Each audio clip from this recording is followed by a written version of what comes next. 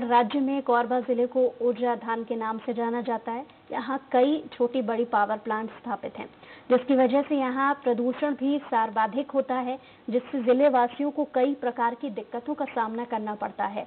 आज हम बात कर रहे हैं ऐसे ही दो बड़े प्रबंधनों की एनटीपीसी और सीएसईबी की, जिनका राखाड़ डैम पिछले पाँच वर्षों से सत्रह गाँव के ग्रामीणों के लिए मुसीबत का कारण बना हुआ है।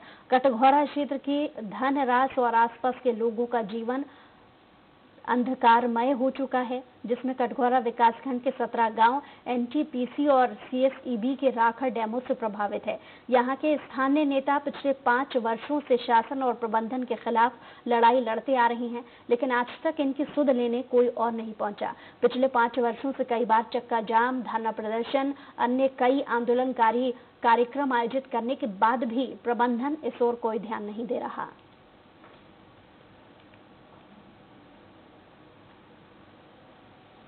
इतने ज़्यादा जो है धूल उड़ रहा है हम लोगों के स्वास्थ्य में हानि हो रहा है कई लोग बीमार हो जाते हैं। अभी तो सांस लेना मुश्किल पड़ रहा है। कितने सालों से परेशान है आप ये तो पाँच सात साल से ज़्यादा ही परेशान है। कभी ध्यान नहीं देते। आज से इतना दिन हो गया है डैम बने लेकिन आज तक कोई मैंने ध्यान नहीं दिया जा रहा है। पानी का छिड़काव कैसा है पानी के छिड़काव में कोई ध्यान नहीं दिया जा रहा है। नहीं हो रहा है पानी का छिड़काव। पानी के छिड़काव नहीं हो रहा है। मजदूर लगाएँगे तो उसमें कितना होगा? बुधनी में दो लोगों